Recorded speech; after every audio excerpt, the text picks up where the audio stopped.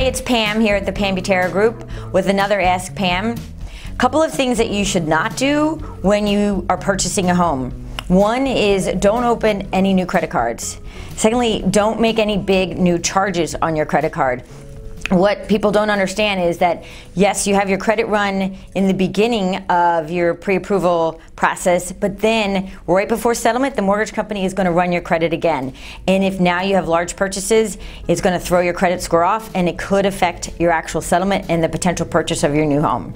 Any other questions? Pam at pambutera.com, the Pam Butera Group, urban to suburban.